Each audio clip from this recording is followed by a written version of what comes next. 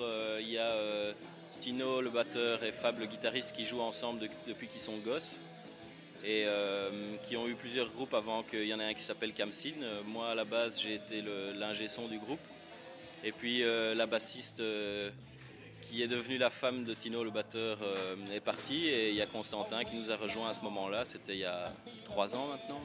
Et moi, je suis passé au chant. Quand le chanteur est parti euh, à la demande du groupe euh, il y a euh, un an et demi à peu près.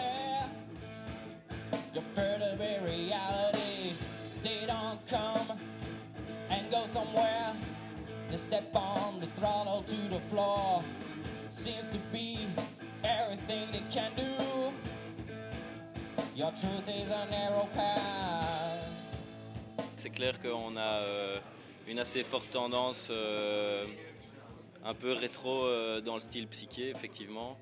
Mais c'est pas vraiment un truc euh, qui est fait exprès, c'est un petit peu un dénominateur commun dans les influences des différents membres. mais bon, on a aussi beaucoup d'influences dans le, dans le stoner actuel. et ça, c'est plutôt notre style, mais avec clairement des, des, héritages psychés 70s.